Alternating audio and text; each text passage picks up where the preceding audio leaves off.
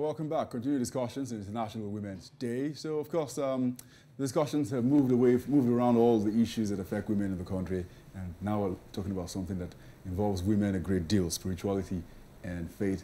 Uh, women playing a huge role in that, of course, in the building up of society. Families, more importantly, uh, have depended on the faith uh, to help build an integral part of the family. With us this morning is uh, Bishop Priscilla Otuya, who is the vision of Global Alliance of Mothers of the Nation for Peace and Development. Thank you very much, ma'am, for coming on the Thank show. Thank you very much for having me. And I'm sure also, too, that a lot of projects that you have worked with women, youths, and children oftentimes have dealt with this very important aspect of it. Uh, yes. Uh, why do you think it's important, as we talk about the International Women's Day and, and the role of the Nigerian woman in the family, what do you consider as, as very important to her in building, for example, family or her work relationship? What, what do you think is the most important part that she must cultivate? To me, the most important part is, first of all, self-discovery. Because if you build on a faulty foundation, what you're gaining, eh, you know, gunning for crumbles. Is it the society? Is it the family? You know, becomes faulty. Mm. So, to me, I think uh, every woman, the Nigerian woman, should go on a self-discovery mission right now because we are building on what we've been told. This is who you are this is what you are, this is what you should do, what you should not do. And then we've been building on that, and then it affects the whole system. So that's what we are advocating for right now.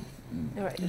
There, there is this song that um, was interpreted to me that when a child is good, they praise the father, yeah. and when the child is bad, they blame the mother. The mother, yes. And now women have a whole lot of work to do in the home front. And in society today, we see that uh, we have uh, youths who are really restive. They're going into some form of crime or criminality or some form of vice. Uh, what is it that um, a mother or a woman has to do in terms of uh, grooming his, uh, her child uh, from the home front before the larger society? Yes, like even the way you presented it also, you know, gives a kind of food for thought. First and foremost, it's not just a woman's job to raise a child a man has a very, very important role. Now, you are the man, you are the example, you are the role model. A man should create leadership for the family. Now, when the man does not do that, the woman now takes responsibility. And like you rightly said, we have a lot of things that we're grappling with these days. So it is not easy to just sit and say, okay, do this, do that, you understand? But again, we still do our best to make sure our children are brought up the way they should, but it is an Herculean task. It's not easy without them because you see, the way it is now, like to talk about male children right now, their dad's supposed to be the role model. What you would you do, your children emulates from you. Now, a, a, a young man sees the dad beating the woman, the, the mother, or going on a drinking spree, or living the life how he wants to live it, and then he grows up to adopt that as a way of life. And then the woman has okay, sit down. What do you think that child will do? Mm-hmm. So we must be realistic it takes the husband and the wife, father and mother, to raise a child. And now it's now comes to, like you said, when the, a child is not doing well, it's the mother's thing. So the thing is on us right now. And I believe women are still doing their best, you know, their little bit, because men are men, boys are boys. It is difficult to, you know, bring them back. Even the ladies too. You see your, your, your friends, after you're in a house where you're, you're not eating a good uh, meal, you understand me? You see your friend having a Thuraya phone, uh, 200,000 naira extension, good uh, telephone, and you're like, hello, you understand me? So it's not easy for women you know, to come around. Mm. So we want to tell ourselves, you know, lies. All right, being, being realistic. I, li I like the saying, the journey of a thousand miles begins uh, from the first step. That's of course, right. um, always pays to start early. So you, you're working with people at, at, different levels of their lives to make sure that when they get to the important stage, which is, of course, uh, building the family of the nation, they have, like you say, discovered exactly who they are. So what sort of um, projects or, or, things do you work on to help women, for example, or even girls understand who exactly they are? Yes, I've been asked these questions a lot of time because when you talk about FBOs and NGOs, talk about structure, you talk about uh, project initiative, but you see, the people we're working with are women leaders that have their own organizations, mm. they have their own churches, they have their own ministries, and whatever you call it. So what we are doing right now, many of us entered into this eh, work or system half-baked. Maybe I grew up as a worker in the church and I just love the system. I just become a minister of God. So what we are focusing on is education, reorientation, know who you are, even from the scriptures. Because like I said earlier, if you come into ministry right now or really FBO, you're building on what your mm. people are built so before. FBO faith-based organization, exactly. so that people understand you know, it. So I want to pick on what I've you know learned from my mm. mentors and all that stuff, and I go on with it. But it has not helped us. So we are focusing on going back to the foundation. What is God saying about women? What has He said about women? What is the Bible saying about what's the truth?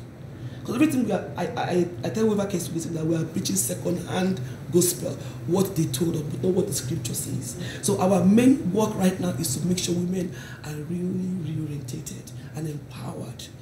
Because when you're on a track, are you following me? You sail easy, you, you run easily.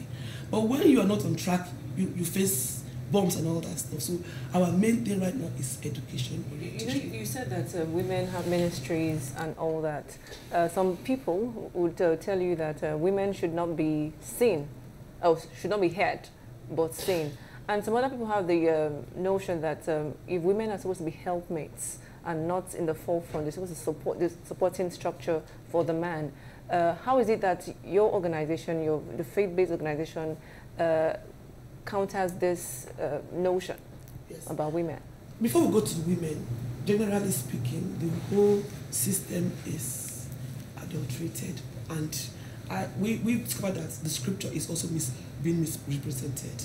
Now, if you say women should not be heard, women should not be seen. Now, the God you are quoting says she's your helpmate. Now, if somebody is supposed to be your helpmate, that means she's supposed to provide the things that you need to achieve what you ought to achieve. Then the same you say she should not be heard. Let's not take, take it literally. If I'm mom, I don't speak, how can I help you? Do you understand? You sign language, huh? so if I don't speak, I cannot express myself. How can I help you? Do you understand? So it doesn't work. That's why things are the way they are because we don't ha- we're not given the opportunity to really be who God God wants us to be. If my husband is a carpenter, for example, and I'm to be his helpmate, I should be a master carpenter. I should know more than him in the area of his job. The Bible says more than him. Yes, because how can you have somebody that is okay now? You are a professional carpenter now I, I want to help you. I don't know but better than you. No, I'll, bring, no, I'll bring the, the, the nails for you, you know, the wood. You know, I can spray it for you after you've cut it, but I don't have to do the work to put it together.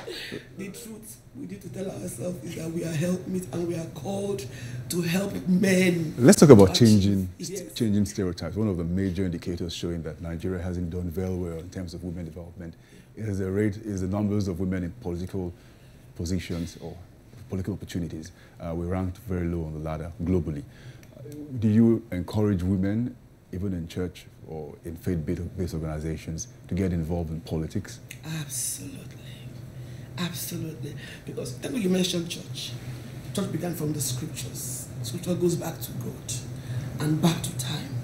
Now, let me give you a scenario where the people of God, Israel, were in trouble, like we are in trouble now. and then even the leaders, the generals, the captains, businessmen could not do a thing. And God raised a woman. She was a judge. A judge those days is equivalent to a king because Israel those days don't have physical kings and all that. So a woman judge was their leader. So, but today we say Deborah, she's a church person. Error. She's not a Christian. Deborah was God's woman in authority with God. So whoever tells you don't be in politics is a serious area that should be changed. If I were working on that already. All right, mm. so your organization is a Christian-based organization, but it's open to every woman of every religion, right? Yeah, if you say Christian-based, well, okay. It's a faith-based organization. Faith-based. If you're a person of faith, because I want to tell us also that what we practice today in a part of the world is funny. Now, faith comes from God. God is universal. He's a spiritual being they give back to you in a, a Christian home, you call yourself a Christian. You a Muslim home, you call yourself. You are not. You are just children of God. So as long as you believe in God and you fear God and you want to do His righteousness, you are welcome to Mothers of. So we don't want to target Christian, Muslim. But you know, like my earlier question, uh, a lot of women, if we go to the churches or mosques to to worship God, and we're out, what we what we sometimes it doesn't you know it doesn't tally what we hear from the pastor or bishop and then what happens outside the home. I've had a lot of people, uh, Christians actually, say that um, for a Christian family, uh, that uh, my my husband's income is for the family, for me and him and the kids, but my income is for myself. It's coming from a Christian. Is that supposed to be? Is that the right approach to having a good Christian home? Yeah, my take on this is that the whole system is wrong. The whole system, true and true, you know, because um, from our, like I said, uh, uh, from our own part of the world today, Christianity as it's packaged today is really, really causing a lot of problem. Now, in Africa, where we are in Nigeria, before we talk about Christianity, we had God. Is a spiritual being. If you are Yoruba, you call him uh, a Lord Yoruba or Olodumare. If you are Muslim, Igbo, you call him Chukwu. So God has been in existence. The one I'm going to is this. Some people somewhere package what we are practicing today for selfish purposes. And it affects everybody down the line, both the men, both the women, and everybody. Now, go to the scripture where is our authority. When a home is built on understanding and on knowledge, there should be openness between the two parties. Right? You don't have any need to hide your income. I don't have any need to hide my income. What is yours is mine. What is mine is yours. But where there is crookedness and then misgivings, you understand, we begin to hide money from ourselves. You understand me? So the whole system is really, really wrong. And there's no way in the Bible that I read that the Bible says it is a man's job alone. Proverbs chapter 30 says something about virtuous woman, that you know, going out in the field in the morning. This is where they've used to cage us because I'm able-bodied. I'm not. I don't have leprosy. And if the scripture says I wake up in the morning, buy field, do investment, and my husband will be known at the city gates my husband. That means I have an input in his life. So it is wrong to sit down and say, okay, my husband should go out in the field and bring the money, blah, blah, blah. It is our money. But again, if you find yourself in a marriage where the man doesn't have the right upbringing, All right. you understand me? Where he squanders the family money, like we have these days, of course you should be wise in keeping Apply wisdom. I apply wisdom.